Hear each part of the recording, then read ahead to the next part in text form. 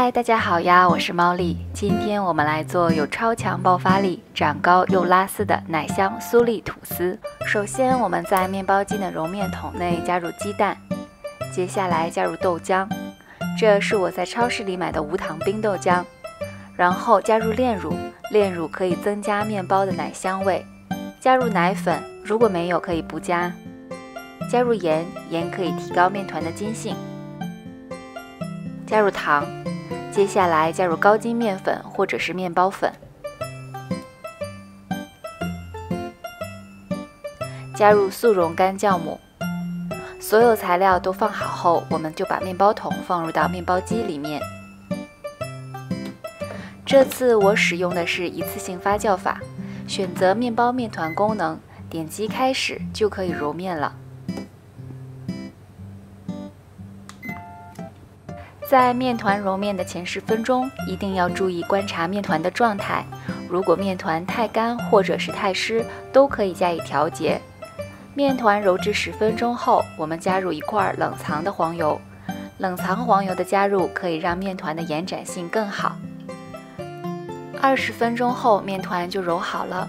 把面团从面包桶里取出来，给它稍微整形，然后把它平均分成三等份儿。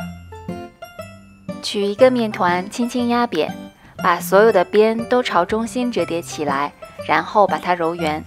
三个面团都进行同样的操作。三个面团揉好之后呢，盖上一块湿布或者是保鲜膜，在室温下醒发十五分钟。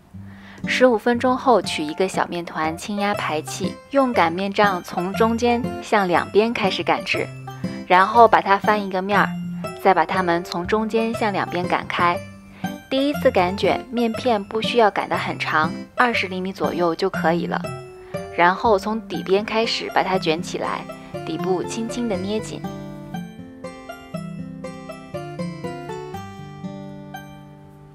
三个面团都进行同样的操作后，再盖上湿布或者是保鲜膜，醒发十到十五分钟。十五分钟后，面团就比较软了。取一个面团。用擀面杖从中间开始向两边擀制，翻一个面儿，然后再继续擀制。面片的长度大概三十五厘米左右就可以了。然后把面片的底部压薄，从另外一边开始卷起来。最开始的时候我们要卷得紧一些，后面只要顺着卷就可以了。卷紧之后呢，把底部再捏紧，这样面包发酵的时候就不容易散开。面团都卷好之后，就可以放在温暖的地方发酵至原来的两倍大了。如果家里的室温比较低，也没有发酵箱，可以利用微波炉或者是烤箱制造一个密闭的环境，在烤箱里放一杯热水，然后再关上烤箱门，这样就制造出了一个温暖又湿润的环境。面团放在里面就会发酵的又快又好。面团在发酵的时候，我们来制作酥粒。低筋面粉里加入糖后。再加入切成小块的冷藏黄油，用手或者是用叉子把这些材料混合均匀，直到看不见干粉颗粒就可以了。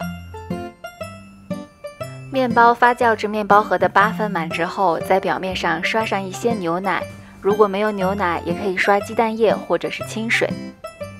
然后用剪刀在面包的表面剪一个小口，接下来把我们刚才准备好的奶酥粒撒在上面。撒的越多，面包表面就越香脆，越好吃。酥粒撒好了，就可以进行烘烤了。此时的烤箱已经预热好了，我用的是三能低糖吐司盒，用上下火一百六十五度烤了三十分钟。如果你用的是普通吐司盒，要用一百八十度烤至三十五到四十分钟。注意在烤制的十分钟的时候，一定要注意观察，发现面包顶部稍微上色时，就要加盖锡纸，以免面包顶部烤黑。三十分钟后，面包就烤好了。将模具在晾晒网上轻轻地震几下，既可以蒸出热气，也可以轻松取出面包。面包取出后要快速地竖立起来，不然面包会变形。等面包完全晾凉，就可以切片品尝了。一个小时后，面包就完全晾凉了。这是一款让人惊喜不已的面包。轻轻撕开，面包内部层层拉丝，组织细腻、绵密、松软。质感超级温柔，超浓郁的淡奶香气，配上绵绵软软的口感，澎湃的奶香味融化舌尖，在口腔中尽情弥散，一口咬下去，幸福感爆棚，那一刻仿佛全世界都凝固了。这款面包疯狂长高又拉丝，一次性发酵，省时又省力，在家做吐司再也不翻车。真心推荐大家这款面包，有空可以试试看。谢谢大家的收看，我是猫丽，祝大家做面包成功啊！我们下个视频再见啦，拜拜。